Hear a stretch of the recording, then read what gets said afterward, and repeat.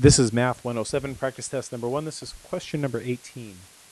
And um, notice what we have to do is shade some regions here, and we want the intersection of A union B and C. So it's basically where this overlaps with that. So let me do this a little little piece at a time here. Make this a little bigger, that might help. Um, a union B. So that's everything that's in A.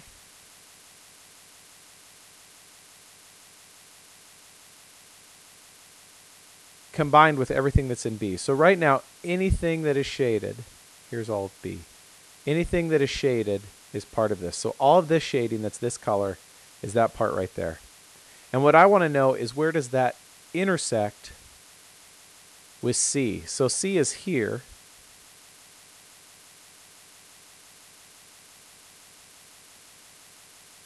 So the intersection of these two pieces, that's C, the intersection of these two pieces is where there's overlap. So my answer is again where there's overlap in the shading. It's this part right here. This little shaded part that's right in here, that is the answer